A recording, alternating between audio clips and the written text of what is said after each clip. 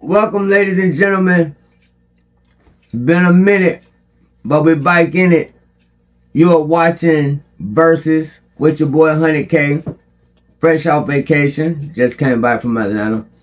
And um, during the course of the trip, I should have shot this bitch from Atlanta as a matter of fact, but I did. But anyway, during the course of the trip, as I was riding, right, I was thinking, what is the value of knowledge? Like, I'm gonna let y'all ponder that for a little minute. Like, think about that. The value of knowledge. How much is information really worth? And does it outweigh monetary gain?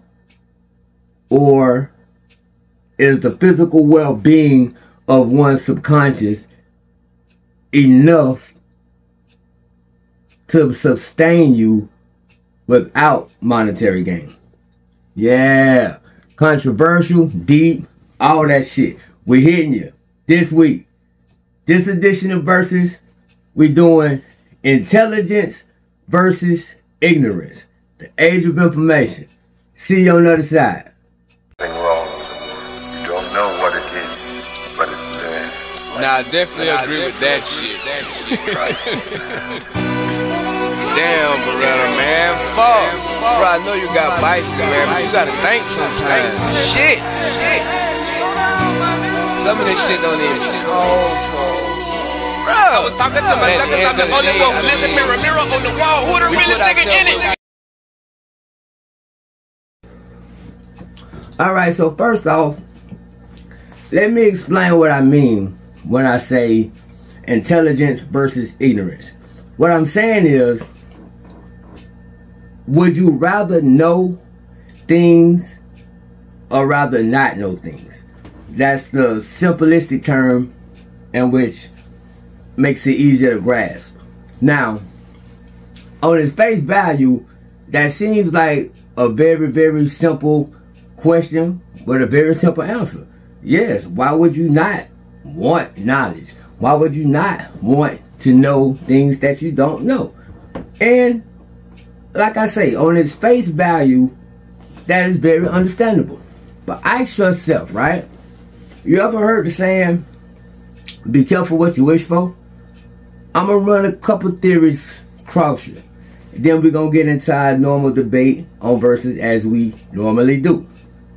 This is just something that just kind of piqued my interest to see how people respond to this. Let's say you had to know either where you were gonna die, when you were gonna die, or how you were gonna die. Like, you got to know one of them. You can't like omit it and cover your ears. Like, one of those will be revealed to you. Now, me personally, I feel like death is one of the easiest things to um, illustrate the point that I'm trying to make. You don't really want to know when you're gonna die. You may say you do, but you don't. Let's say you you chose you want to know the how, right? Let's say the how might be a lightning strike or some shit like that. So for the rest of your life, are you gonna like try to avoid lightning? Let's say your how is a car accident. Are you gonna avoid cars for the rest of your life? Let's say you say you want to know when. Okay, cool. Let's say they give you the date, time, everything down to a T. What's going to happen a week from that time? Or two or three days before that time? Or a couple of hours before that time? Do you know how fucking crazy that shit would drive you? You know what I mean? That's why it sounds easy until you really think about what's being what's being addressed here. So when we doing intelligence versus ignorance, let's start with intelligence. There's a difference between intelligence and being smart. That's the first thing I want to like throw out there because a lot of people think that they're one and the same.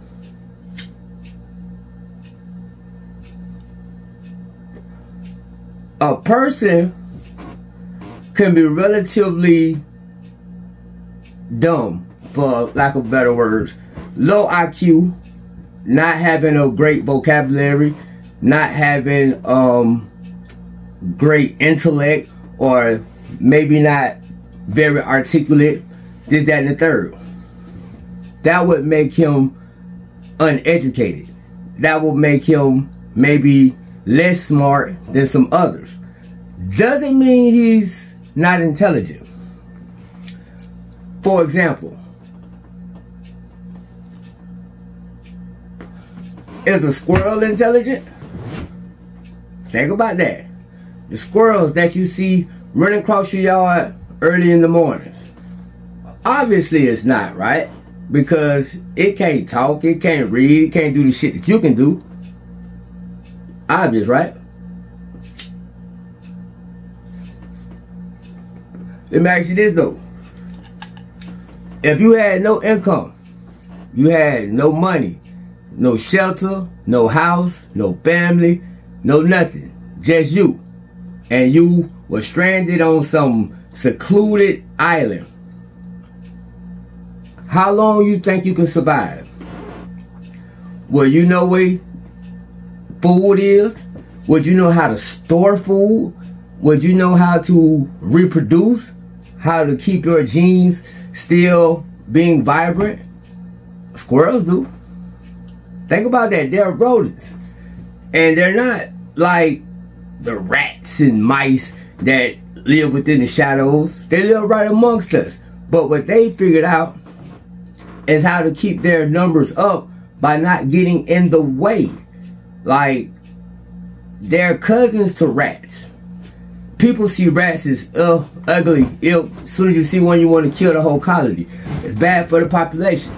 But squirrels, most times you see squirrels not even thinking twice. Because they live on the fringes of society.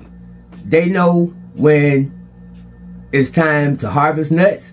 They know when it ain't gonna be no nuts. So they take nuts when they're plentiful and save them for when they're not plentiful. Now, to me, that's a sign of intelligence. Not necessarily smart, but intelligence, meaning it's using intel and information, processing that information to help it sustain its life. Now, a person that's smart may not necessarily be intelligent. Meaning, a monkey can memorize sign language. A monkey may even be taught or trained how to communicate. But what that actually is showing is a certain level of memory. Like, not necessarily a cognitive function, but memory. If you study for a test and you're taking notes, what you're exercising is your ability to remember the information that you just looked up. Fun fact. True intelligence, those with high IQs aren't going to be the ones that's making all A's and straight A honor roll students. Most of the times, it's going to be the ones who get by in spite of whatever else they may be into, whatever else they may be doing. Like, some people may just use common sense, just common thought process and put together answers that it may have took someone else weeks to read and study and research and take notes. I never was a good note taker. So I'm not taking away nothing from people who uh do they due diligence, this, that, and the third. But if it's something that interests me, what I realize is my level of reasoning and comprehension, it starts working on its own.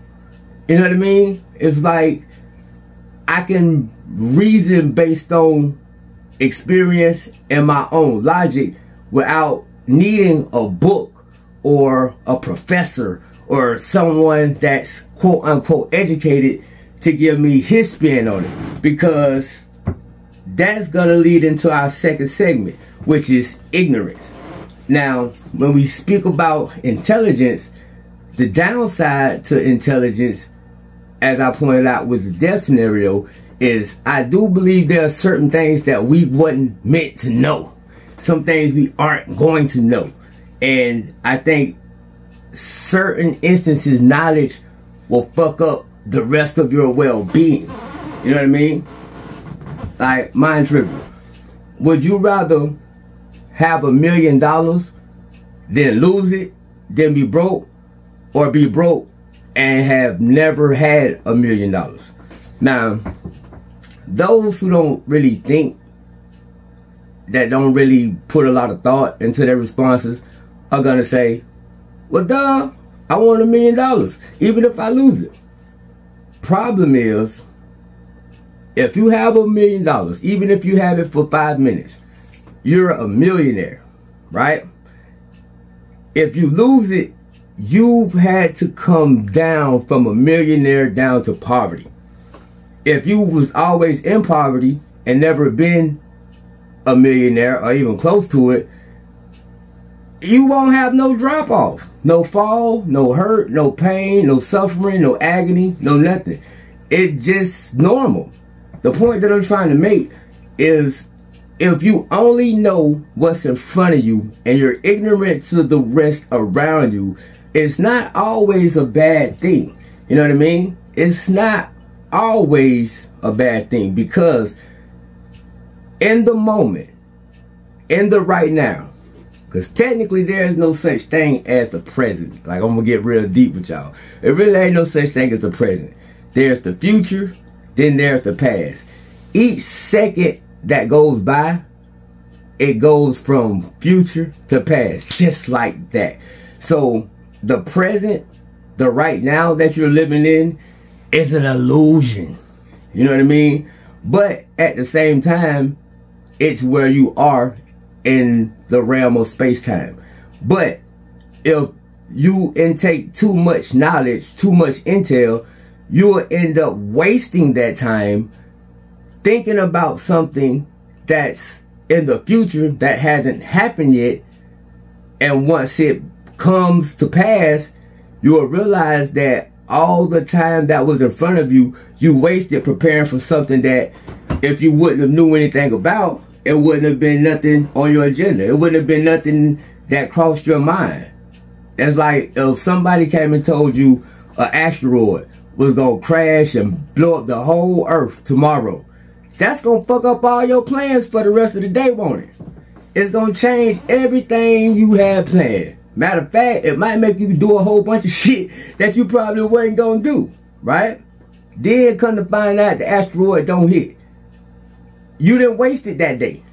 Now, if the asteroid do hit, but you ain't know nothing about it, it's gonna be a normal day, normal night. You're gonna go about life as you normally would without a care in the world. Smiles, happy, uh, guts and glory, all that type of shit. Till you look up and pop. Point I'm making is, don't stress yourself worrying about potential things that may be coming. Cause sometimes ignorance really is bliss. But information can give you an advantage if you know how to use it. Information can be just as valuable as currency, but you got to know how to wield it. For example, if you came up, right? Let's say you came up on $20,000. Because you came up on $20,000 and you got, let's say, 10 homies, right? You go give each homie $2,000 to make it even, so all y'all like be the same, have the same amount? Hell, fuck no. More than likely, you probably won't let them know you got twenty thousand dollars. Y'all probably will hang out, party, this, that, and the third, but you're not gonna split what you have equally with all of them because it's yours. You should look at information and intellect the same way every piece of knowledge or every piece of information that you come across is more valuable if less people have it. And those who don't quite get that concept, everything they know, they tell Jack, Jill, John, Paul, whoever. And they lose their power because if everybody know the same thing you know, then you're nothing. You're a nobody. Not to say you're not smart, but your intellect, your intelligence level would be at very best average because you've given everyone the information that you have. You think the motherfuckers in the White House tell you everything they know? You think the billionaires tell you everything they know? Come on, man. This shit chess, not checkers, man. Now, let's see how the ignorance plays out. Man, that's crazy. But anyway, now on the ignorance tip. When I say ignorance, please understand I'm not saying that in a um, humiliating, derogatory way. I'm not saying it in a uh, bring someone down or trying to uh, call a person dumb. Like that's shallow. Like really look at the definition of ignorance. Ignorance basically just means not aware of or not knowing. You know what I'm saying? Like for example, if I'm in a soundproof room, right, with no windows, and it's raining outside, I would be ignorant to the weather. You know what I mean? Like that's the shit I'm talking about. Cause I know y'all be trying to play these word games. Anyway, ignorance. As I was explaining about intellect and intelligence, there's good, there's bad. Same thing with ignorance. You may say, well, how can being ignorant have any any positives whatsoever? That's why I started off by saying if you had to know when, how, or where you would die, which one would you pick? Now, up until you get that information, you're ignorant to your death. Meaning, you don't know when you're gonna die. You don't know how you're gonna die. You don't know where you're gonna die. The good in that is that you were probably wasn't thinking about dying until I just brought that question up. You're living your life for the moment. Whatever you're doing, that's what you're doing. You're doing it in a ignorant bliss somewhat. You know what I mean? And I don't think that's a bad thing, right? Because it's over like 7.9, probably probably about 8 billion, probably even more than that now.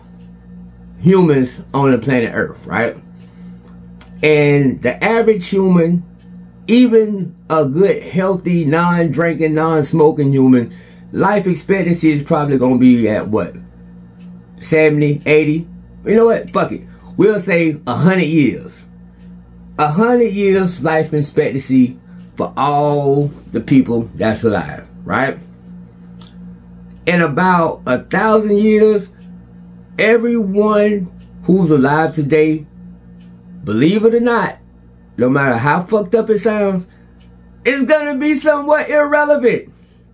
You're gonna have children that's gonna have children that's gonna have children that's gonna have children that's gonna keep your bloodline uh, flowing. It's gonna keep your genetics uh, prevalent. But at the same time, you as an individual will probably be lost in memory. You don't believe me? Tell me this. Who is your great, great, great, great, great, great, great, great, great, great, great grandmama? That was eight greats. Don't know, do you? Probably have to look it up. Probably have to pay some DNA ancestry thing to look it up for you. The point that I'm trying to make is they would have had no way of knowing what 2023 looked like back in 1800s, 1700s, or whatever. Just like we would have no way of knowing what the year 3000 would look like. But we don't live our lives pondering it, worrying about it. We're ignorant to it. We live in our time and we make the best that we can of our time. We try to leave an impact on the world as best we can. Well, some of us do. some of us do. Some of us just do like, fuck everybody. That's why we have all these mass shootings and shit. But point I'm making is there's a lot of things that we're ignorant to that we don't realize we're ignorant to, but it's necessary for human survival. You know what I mean? If all information was all transparent, right? And everybody knew the same thing that everybody else knew. And everybody knew what the future holds. It'll be chaos. It'll be anarchy. It'll be extinction, to be perfectly honest. That's exactly what it would be. It would be total extinction, annihilation. You know what I mean? That's why, believe it or not, there is positives for ignorance. As a country, here, right here in the USA of America, The reason why I feel, is my opinion, not fact, but my opinion. The reason why I feel we have so many conspiracy theories about John F. K, um, Area 51, UFOs and shit, uh, 9-11, like, the reason we have all of these conspiracy theories, in my opinion, I believe is because the government and other higher up aficionados have levels of intel, of information that they're not going to tell us. But they'll water it down with all of these different theories. So if you do fuck around and uncover the truth, it'll just sound like another conspiracy. But more times than not, the simplest explanation usually is the correct one. For example, Area 51. Do you really think the motherfuckers hiding aliens in that bitch? You feel me? You really think they got like unidentified flying objects like flying saucers and shit from another planet? Which one makes more sense? Them bitches been spying on other countries. They done probably took some of their fucking flying vessels or some of their military equipment and they hiding that shit, breaking all kind of fucking, uh, what they call that shit? War crimes. And to keep the public in the ignorant stage, they tell you, oh, flying saucer crashed. Or they got aliens in there. If you a country as big as the USA, breaking all kind of global rules, wouldn't you prefer everybody think you hiding UFOs? Instead of knowing that you really just breaking all the laws that you helped put in place? Because I do believe that it's too many people with power within this great country we live in to let any one of these other countries, whether it be over oil, whether it be over diamonds, whether it be over salt, silk, whatever natural resource, like if it come down to a bitch feel like they want to go to war and they don't see no win, but they trying to get uranium or some fucking nuclear weapons where they gonna just say, fuck it, we just gonna blow up the world. I promise you, that shit won't happen. Them bitches is spying on everybody, watching everybody. If you even say the wrong shit, a bitch gonna be knocking on your door. But they're not gonna tell you that. They gonna tell you some old kind of conspiracy shit about this, that, and the third. Point that I'm trying to make is they use information as currency, as levels of power and they keep everybody in the ignorant stage because they float so many bullshit ass stories out and people run with it because it makes them feel like they smarter than the next bitch. You know what I'm saying? That's why you get something as simple as like a 9-11 and you have so many people thinking the government like did it to themselves. Like, why would they go through all of that when they could have just, if they wanted to pass a law about war and oil and weapon treaties, they would have just did that shit. You think they would have killed 3,000 people?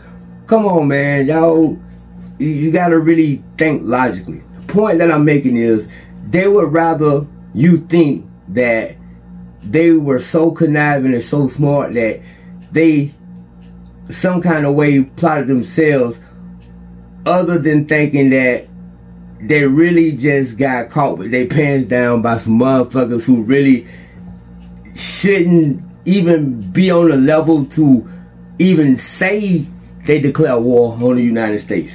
But they did. Point that I'm trying to make is use intelligence. Don't use generic smarts or memory or reading in books and listening to other people and what they present to you as information. Take your own experiences, dissect it, and be objective. The hardest thing is for people to be objective. A lot of times we tend to see what we want to see, hear what we want to hear, find what we want to find. So, in conclusion, intelligence versus ignorance.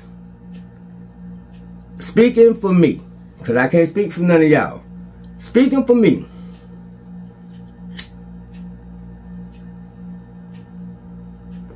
because I am a realist and I would rather know the grim reality of whatever situation I'm facing, I will always pick intelligence, even though I'm intelligent enough to realize I will always be in the ignorant stage. That's a lie. I just said a lie, so I'm gonna break that down what I mean. What I mean is I prefer to be in the in the know, in the intel, in the information age. But I understand that it's always going to be information that I'm ignorant to. It's always going to be something that's affecting me or will affect me that I will have no knowledge of. All I can do is see what's in front of me, do the best I can with what I have, but I don't know what tomorrow brings. I don't know if I might walk outside and drop dead. I don't know if I might walk outside and find a fucking lottery ticket with $20 million. I don't know. But that ignorance frees me up to enjoy this very second. You know what I mean? I'm not really thinking about it because it hasn't happened yet. You know, you can make these plans, you can make all of these um, goals for yourself, right? But you have to make it to that point in order to exercise it. So I'm really in the ignorant category to be real, but I would prefer to get as much intelligent or as much information as possible. To answer that question that we started off with, if they was to ask me the how or the where or the when I would die, for me it's simple. Just let me know when. Don't really care how, don't really care where. The when is what's important because if they say it'll be March 8th of 2083, then up until 2082, I'm act a fool. You know what I'm saying? If they say that shit might be tomorrow, then you know, gotta make peace, this, that, and the third. But the how in the world are irrelevant because all you're gonna do is end up spending that little bit of time that you have left trying to avoid the things that killed you. when in actuality, there's no one that's going to live forever in the flesh. I mean, it's biology, simple, mathematics, chemistry, however you want to put it. But you have to be objective and real enough to admit that to yourself. So, come again next week. We gonna have something else, real controversial and spooky, pushing all kind of buttons, make you motherfuckers stink, make you motherfuckers feel like doing something different. I bet you ain't think about that shit today. So, see me again next Friday, at 8 o'clock, right here on WFBG Network, 100K, signing out.